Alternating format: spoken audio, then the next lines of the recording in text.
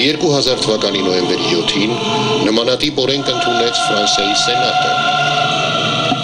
Ահա հարթակին է մոտենում Ֆրանսիայի նախագահ Ֆրանսուଆ Օլանդը,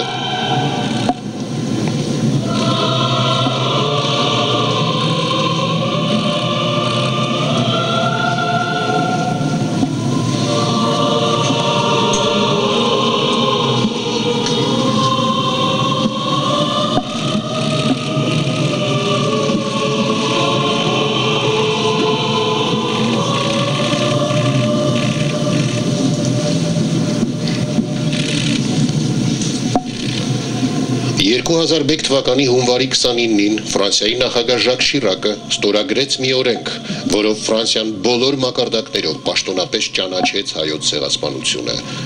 2006 թվականի հոկտեմբերի 12-ին Ֆրանսիայի խորհրդարանի ստորին պալատը օրինագիծ ընդունեց, որով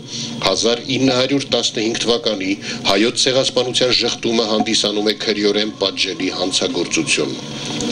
Փաստաթուղթը սահմանում է, որ հայերի զանգվածային սպանդի շղթումը պատժվում է 1 տարվա ազատազրկմամբ եւ 45000 եվրո տուգանքով։